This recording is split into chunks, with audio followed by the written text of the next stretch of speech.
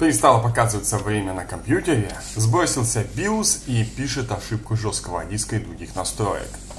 Тогда вам просто необходимо заменить батарейку. Маленький лайфхак покажет и расскажет вам, что же нужно менять. Открывайте корпус, находите батарейку на очень узкая 2032, скорее всего, модель или 2028. Достаете и меняете. А если вы не знаете пароль от BIOS, Просто снимаете батарейку и даете подождать минут 15. А также можете просто замкнуть отверткой два усика. Работает.